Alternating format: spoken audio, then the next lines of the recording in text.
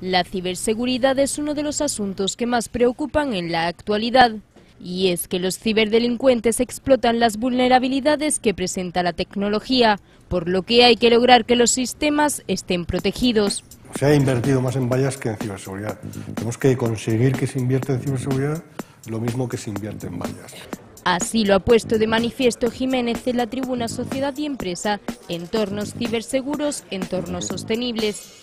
Sin embargo, no es suficiente para combatir estos ciberataques. Y uno de los basics es concienciar a la gente, es decir, eh, ayuda mucho más concienciar a los empleados para que no tienen que pinchar en determinado link.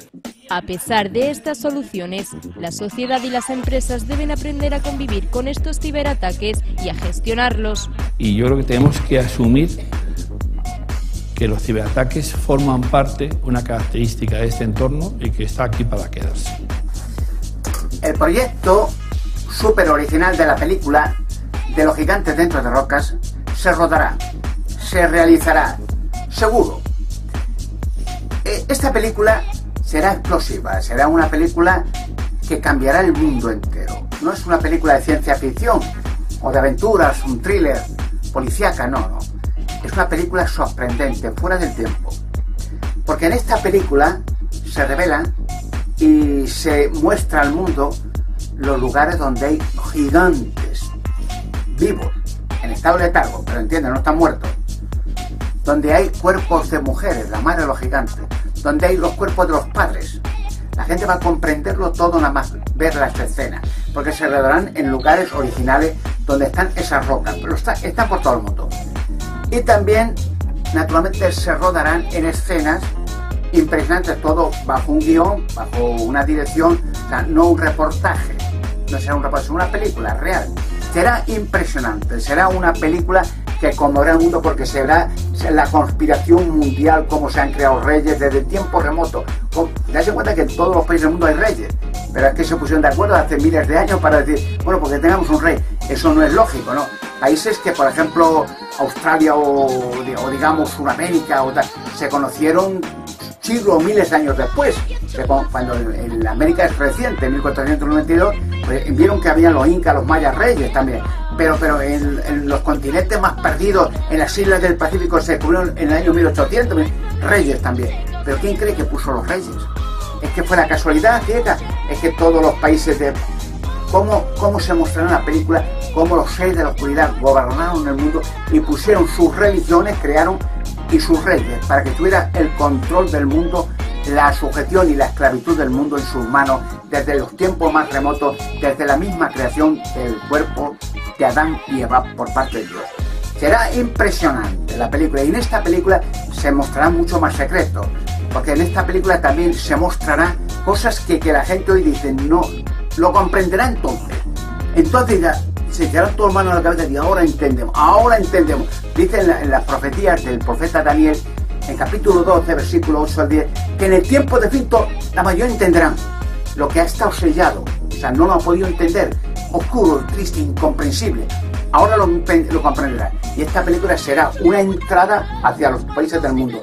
Y en esta película mostraré, pero será una sorpresa, pero bueno, gigantesca, quién es la Mona Lisa, por qué viajó en esa nave, a dónde viajó, dónde se construyó esa nave gigantesca de la nave del Apolo 20, de 3 kilómetros y pico de larga y 500 de alta. ¿Quién es esa Mona Lisa? ¿Qué, qué, qué, hacía en la cabina? ¿Qué, relación tiene con, con, estas naves? Con, con el pasado. ¿Qué conoció la Mona Lisa Noé? ¿Conoció al profeta Enoch?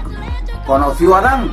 Pero será impresionante será una película ya explosiva porque con pruebas y pruebas se mostrarán todas estas cosas será incluso, se revelarán más misterios, las pirámides que hay en la Luna, que hay en Marte, que hay en la Tierra. Bueno, todo esto explosivo. Será una película que, bueno, eh, marcará, marcará una era. O sea, una era se dirá entonces, antes y después de la película de los gigantes dentro de Roca. O sea, un cambio mundial, total, porque claro, esta película al revelar tantos misterios, la revelar con pruebas cuando se comprueben las rocas, se diga, y se, se, tendrán que hacer, no, se opondrá medio mundo. No, dirán que no, y lo, lo haré posible que lo suelte. O sea, provocaré que lo suelte. Y tendrán que hacerlo. y tendrán que decir religiones, políticos, satanistas, ocultistas, medios, o sea, sectas satánicas, lo tendrán que decir. No, no, que esta, habrá manifestaciones, que estas rocas son intocables. Muchas de las rocas están en iglesias, catedrales, en, monasterios, en conventos, son sagradas. Y ahora entiende la gente que son sagradas, que es lo que hay dentro. Los gigantes, los, cuerpos de los, demonios también, los cuerpos materiales se hicieron cuerpos humanos. Y entonces tendrán que decir muchas naciones, será una provocación mundial que, que, intocable, la UNESCO y todo, no, no, que esa roca lo revelarán. Claro que lo sabemos, son los hijos de, los, de los ángeles caídos. Y tendrán que, decir, los provocaré para que digan, sí, bueno, pero... Y habrá una controversia contra Dios, imaginen, la rebelión de la humanidad contra su propio... Al lado de, Lucifer, dirán que no, que Lucifer es inocente, que, fue, un, castigo judicial injusto. Provocaré una situación que finalmente declinará en Armagedón. La guerra de Dios. Será impresionante, esta película marcará una época, y claro, no ese es el plan. O sea, yo escupo hacia el dinero, no es por dinero, por, por popularidad, ya la tengo y la tendré más a escala mundial, pero no, yo, yo no soy tan idiota, como hemos dicho muchas veces, admiro, eh, a manera de ejemplo, al actor Ken Reeves, que es un hombre bastante famoso, millonario, pero vive una vida muy sencilla. El hombre dice con realidad mí, yo no, no tengo por vivir un palacio ni, una villa de lujo con, con muchos uh, coches modernos para impresionar a la gente. Eso son fachadas ficticias. O, poner a su mujer o a su querida como, una prostituta para, para, mostrar como el que muestra un coche deportivo. ¿no? El hombre vive su vida como le gusta, humilde, va en el metro, va, come solo en un banco, pero vive como le gusta, está libre no está atado a circunstancias. Lo que pasa es que tiene un trabajo, es actor y, llega un momento, le llama por una película y, lo mismo cobra 20 o 30 o 50 millones. Bueno, pero le da igual, escupen el dinero. Él vive como le da la gana, vive feliz y no necesita eh, eh, mostrar fachadas y tal, y lujo y esplendor para, para. Él es él como es y por eso todo el mundo le quiere. Yo soy en semejanza. Yo, eh, con estos descubrimientos y con muchas cosas más que sacaré, es muy posible, muy posible, pero claro, ese no es la meta pero será necesario, muy posible que, habrá proposiciones a escala mundial por mi descubrimiento, porque yo tendré la voz eh, cantante, para, sea con el arca de la alianza, con la cueva de Hércules, con el robot de la cueva, con los gigantes, con la voz cantante, o sea, tendrán que recurrir todos a mí. Eso, eso supone que, me ofrecerán cifras astronómicas, pero seguiré siendo yo, seguiré teniendo mi carrera. Lo único que haré, la única manifestación es por una, una cosa de digamos, de, no fachada, no, puedo decir espectacularidad para que todo el mundo donde yo quiera, no voy a ir andando ni en bicicleta, no, tenga una escolta impresionante, muy, muy, pero eso es para dar alegría a la gente. O sea, que cuando la gente, después de las grandezas que se realicen en España, vea llegar mi, viaje a los pueblos, a los sitios, a ver cómo están las, las obras de construcción, la carretera, los aeropuertos, los pueblos abandonados que se reedifique, que digan, mira, ahí viene el gran monarca, y será un gozo de alegría ver algo alegre, feliz, sonriente, una, una escolta simpática de hombres y mujeres para dar eh, una nota de, de, de alegría, de, de, de calor hacia donde yo vaya. Porque lo que quiero es llevar es paz, es eh, libertad, es llevar eh, alegría, prosperidad y sobre todo la verdad. Esta película va a ser súper, súper, vamos, explosiva.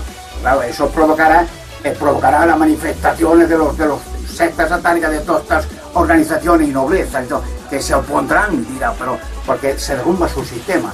Es lógico, si ahora en, pequeña escala soy archipopular en internet, tengo múltiples seguidores y enemigos más todavía, ¿qué será cuando, cuando tenga la autoridad absoluta como gran monarca en España?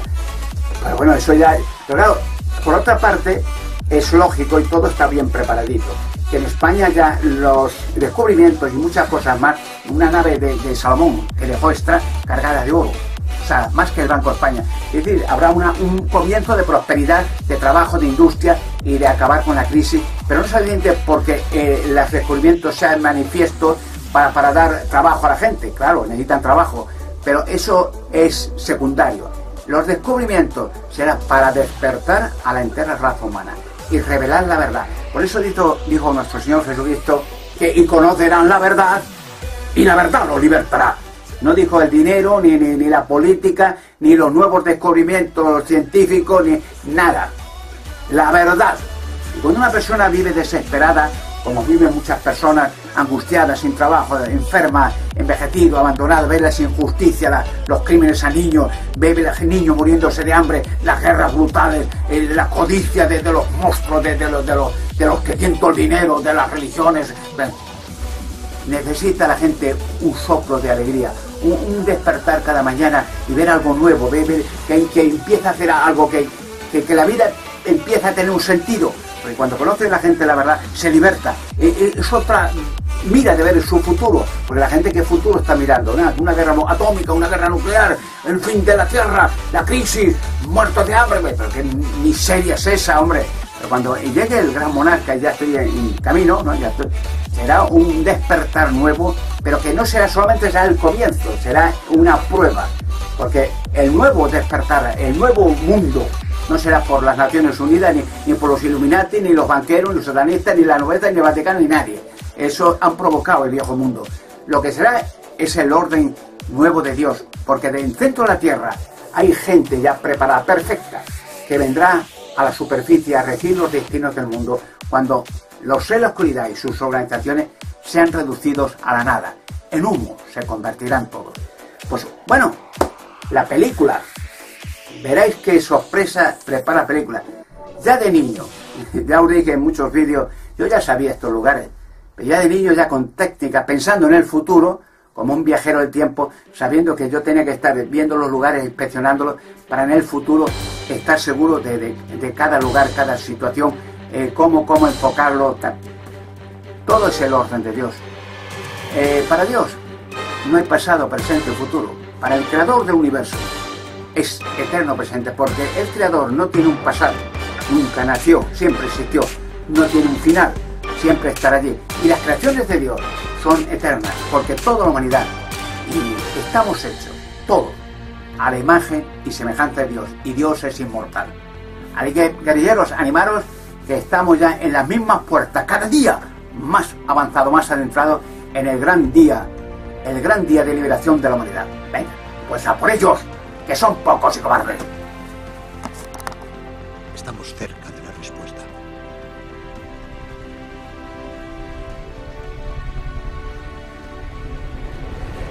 ¿Qué pasa?